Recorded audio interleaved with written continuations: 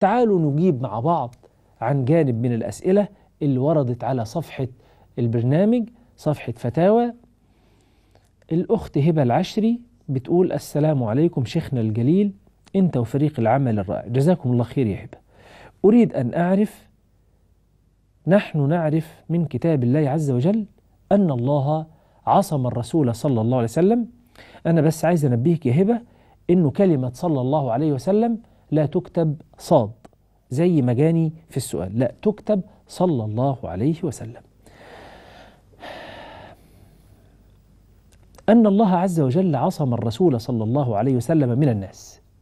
السؤال بقى فكيف استطاع الناس سب الرسول وإيذائه وقذفه بالحجارة حتى سال الدم من قدمه الشريفتين صلى الله عليه وسلم؟ لا ده أنا هأزيدك من الشعر بيتا. ده هم كسروا له دي.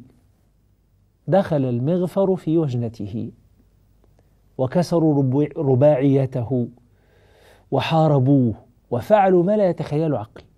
تعالي أفسر لك حاجة. بص يا هبة سيدنا النبي عليه الصلاة والسلام ربنا قال له والله يعصمك من الناس. بس الآية دي نزلت فين؟ الآية دي نزلت في المدينة. لما كان الصحابة ربنا يكرمك كده ويرزقك بزيارة مسجد سيدنا النبي صلى الله عليه وسلم. كانوا بيتناوبوا على حراسة سيدنا النبي صلى الله عليه وسلم قبل نزول والله يعصمك من الناس. لحد ما نزلت الآية دي حتى فيه اسطوانة في عمود كده في الروضة الشريفة اسمها اسطوانة الحرس. يعني اسطوانة الحرس؟ العمود الاسطوانة يعني العمود يعني. فالعمود ده أو الاسطوانة دي كان اللي بيحرس النبي صلى الله عليه وسلم بيقعد تحتيها. لحد ما نزلت الآية دي فالنبي خرج قال لهم بتعملوا إيه؟ قالوا له قاعدين عشان نحرسك؟ قال لا.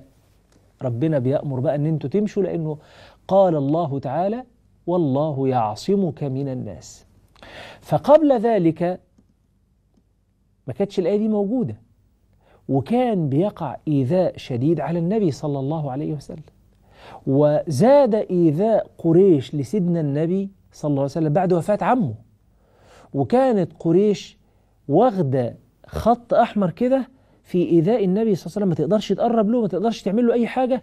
طول ما عمه عايش لحد ما توفي عم النبي وفي نفس العام اللي توفي فيه توفيت خديجة رضي الله عنها وأرضاها وسمي العام بعام الحزن. من أجل هذا سمي العام بعام الحزن وكانوا بعد كده بيوقعوا الأذى برسول الله عليه الصلاة والسلام. فيبقى والله يعصمك من الناس دي آية نزلت في المدينة والإيذاء اللي أنت بتقصدينه كان في مكة وكان في الطائف وكان في غزوة أحد. دي حاجة. حاجة تانية الإيذاء ده كان إيذاء بينزل على جسد النبي صلى الله عليه وسلم علشان نتبين الصبر والتحمل اللي كان فيه عليه الصلاة والسلام.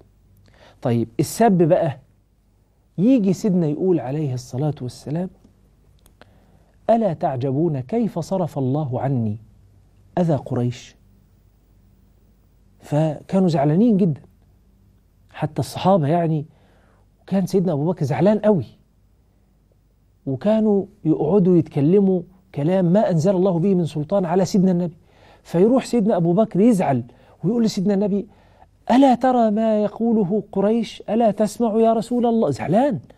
دمه فاير فيقوم سيدنا يمتص الغضب من قلوب الصحابة ويهدئ من روع الصحابة ويقوم يعمل إيه؟ يقول كلام رائع جدا. يقول ألا تعجبون؟ كيف صرف الله عني أذى قريش؟ يسبون مذمما وأنا محمد صلى الله عليه وسلم. هم كانوا بيسموا سيدنا النبي اسمه محمد. فتقوم مرات أبو جهل عليها لعنة الله. أبو لهب ومراته وأبو جهل وهؤلاء فربنا ينزل في القرآن. وكانت أم جميل أم قبيح دي كانت تروح تقول مذمما عصينا وأمره أبينا ودينه قلينا. فيقوموا يقولوا مذمم بدل ما يقولوا محمد. فالصحابة يزعلوا. فسيدنا النبي يقول لهم ألا تعجبون كيف صرف الله عني أذى قريش؟ يقولوا إزاي ده هو بيقولوا مذمم. يقول لهم طيب يسبون مذمما وأنا محمد.